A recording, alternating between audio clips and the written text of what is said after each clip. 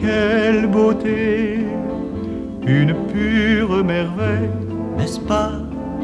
C'est une pierre de taille.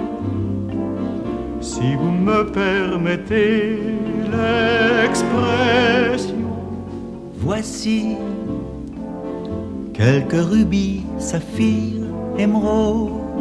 c'est la caverne d'Ali Baba. La parure de la belle au bois dormant. Bonjour Madame Emery, bonjour Mademoiselle Geneviève. Bonjour, monsieur Dubourg. Vous permettez, je vous en prie. Mademoiselle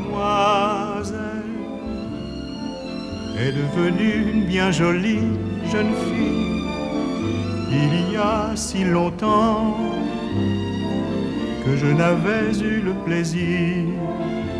Mais que puis-je faire pour vous? Vous pouvez parler sans crainte. Nous sommes dans une situation difficile. Geneviève est grande et m'aide de son mieux. Elle n'est pas en cause, mais j'ai de lourdes charges et j'ai pensé. Enfin, je dois faire face à une échéance dont les conséquences risquent fort de nous compromettre. Et je viens vers vous comme on vient au Messie. Madame, J'ai hésité longtemps et Geneviève, qui est la sagesse et la raison même, m'a décidé, c'est la mort dans l'âme, que je me vois contrainte de me défaire de ce bijou qui pour moi représente. Je vous comprends, chère madame, mais mon métier comporte des risques et j'en prends déjà beaucoup. Au mieux, je puis mettre votre collier en vente et encore à une somme bien inférieure à sa valeur réelle. Je ne puis l'acheter moi-même. Ne pourriez-vous au moins m'avancer? Rien, je vous l'ai dit, nous ne pouvons rien.